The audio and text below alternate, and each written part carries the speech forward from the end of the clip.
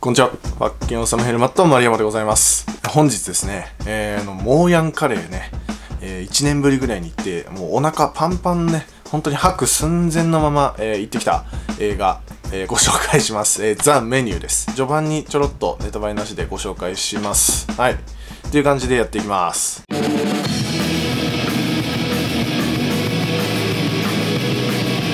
今回の監督、マーク・マイロット監督でございます。あ全然、あれなんか全然聞いたことないなと思ったんですけど、えー、アリ・ジーの監督ですね。はい。サシャ・バラオン・コーヘンが、えー、架空のね、ギャングスタラッパーに扮した超下品な、めちゃめちゃ面白い作品があるんで、これぜひ見てほしいんですけど、えー、それの監督ですね。長編映画4本目です。これもね、10年ぶりぐらいに、えー、映画撮ってる感じですね、今回。はい。っていう感じでした。で、えー、ゲームオブスローンズもね、監督してましたと。シーズン5から8の、のどの話かはちょっとは分かってないですけど、ゲームオブスローンズもやってましたという感じですね。まあ、そっからかなりドンシャリ、もうアリジーみたいなもう超娯楽作からこう、超重厚なね、ファンタジー映画を撮ってるっていうね。えー、ちょっと頭クラクラしそうな ドンシャリぐらいなんですけど、あ確かにその、なんでしょうね、えー、ゲームオブスローンズを通過した、えー、感じの上品なね、撮影、になっておりましたね、今回。で、話がね、かなり今回、うん、サイコスリラー、うん、みたいな感じなんですけど、もう島にある高級レストランで、えー、富裕層の人々、なぜ殺されていくのかみたいなね、話になっていきますね。その理由とかもね、はい、何なんだみたいな話ですね。はい。で、まあ、今回ね、まあ、映画好きな人ほど見てほしい。そして襟を正してほしいという作品です。はい。お客さん殺されてくるんですけど、はい。えー、その中で僕も殺されてました。もちろん。はい。えー、ですね。非常に、えー、胸が痛い作品であります。で、やっぱ主演と言っていいでしょう。レイフ・ファインズですね。もういるだけで説得力ね、すごくありますよね。まあ、007の M やってますね。キングスマンのあの前日談のやつでも出てましたね。あと、ハリー・ポッターと。っていう感じでしたね。で、やっぱね、画面映りというか、佇まいがすごい真摯な佇まいで、えー、すごく説得力がありますね、今回も。で、今、ノリに乗ってるアニャ・テイラー・ジョイと、あと僕が大好きなニコラス・ホールト、これマッドマックスのニュークスです。ニコラス・ホールトも出ております。はい。結構密室劇みたいなね、感じもあったり、かと思えば結構なブラックユーモアね、あのー、やっぱ Ali G 撮ってる監督なんで、その、うん、ここでそのギャグ入れんだみたいなブラックヒューモアとかもあります。結構ライト目に行って楽しめる作品でもあります。監督自身この映画をやって、えー、今までの自分とケリをつけたのかなっていう気がしましたね。はい。えー、ということでね、ここからはレビューというか、まあ、解説かなっ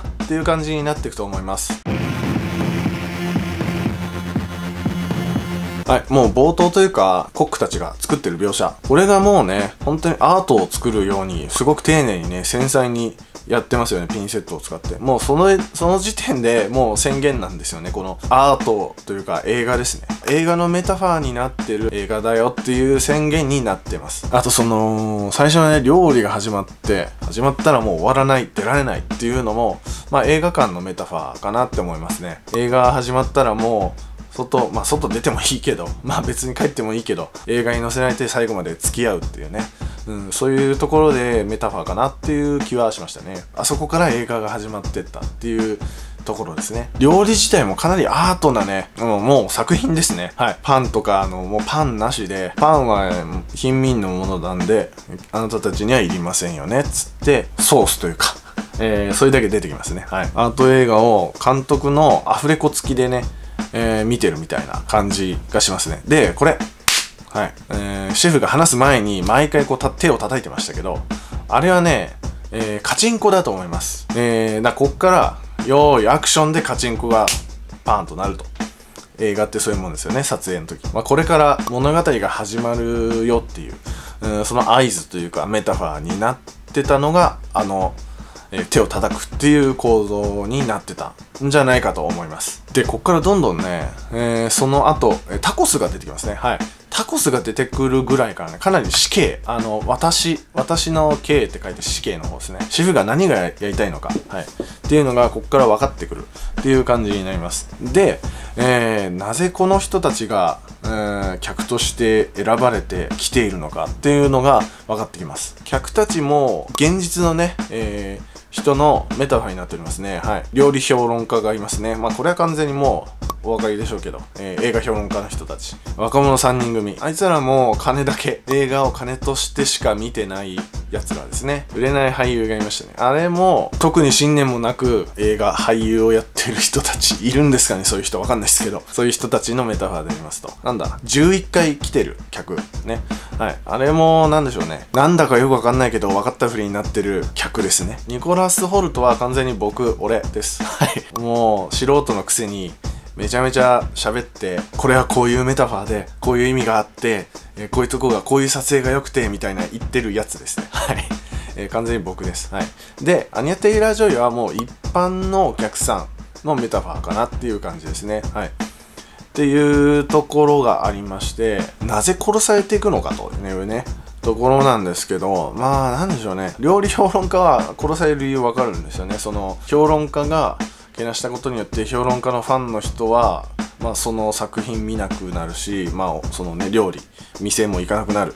っていうところでその同業者をね廃れさせたというかうんそういうものがあると思うんですけど、えー、信者ですねニコラス・ホルト死ぬように仕向けるんですけどえー、しかもね、やり方がすごく嫌だ。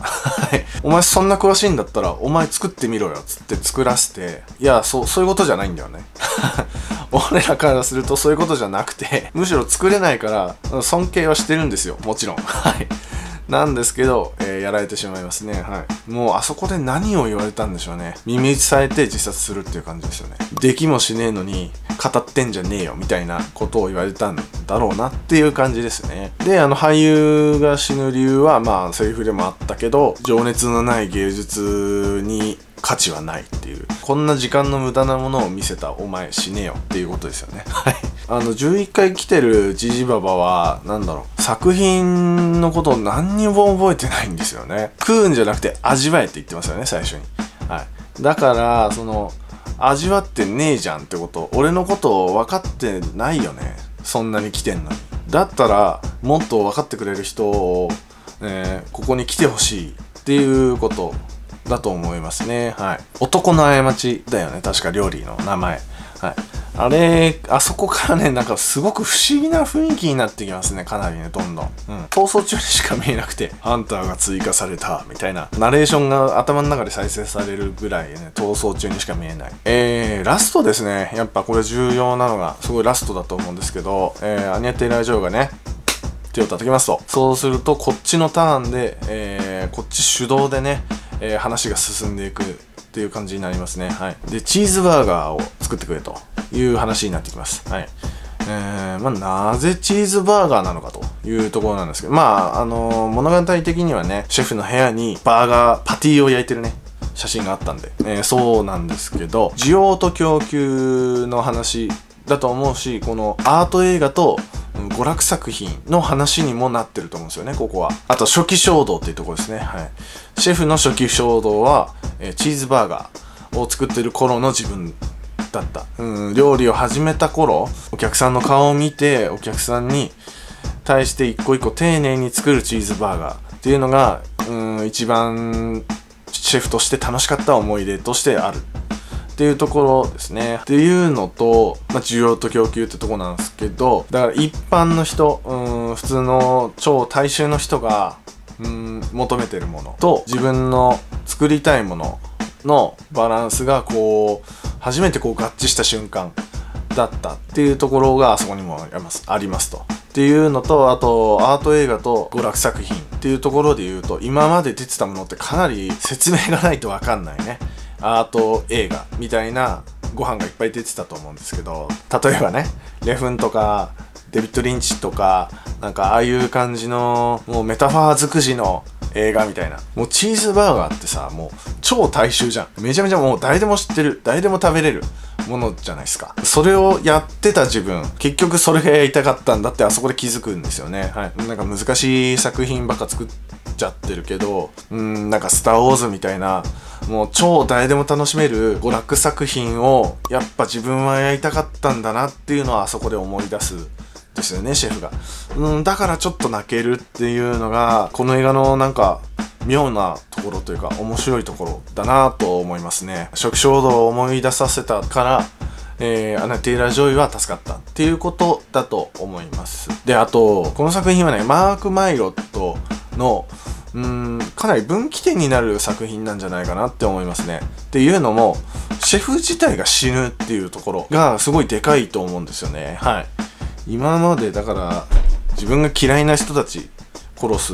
まあ、それはわかる。評論家、お前文句ばっか言ってんじゃねえよ。で、信者、お前何も分かってねえくせに、じゃあやってみろよ。ほらできねえじゃん。で、俳優も、もう全員死ぬと。だから、その、そいつらを許せない自分も嫌いなんだよなっていうところ、えー、自分も葬るっていうところだと思いますね。あの、ラストの爆発は。だから、この作品で、過去の自分というか、うん、それまでのマーク・マイロッド自身をね、一回ここで全部捨てたっていうことなのかなって思いましたね。こっからの作品結構、なんだろう、かなり吹っ切れた面白い作品をなんか作ってくれるんじゃないかなっていう期待を今してますね、見終わった後。で、一番最後の、あのアニャ・テイラー・ジョイがメニューで口拭くっていう。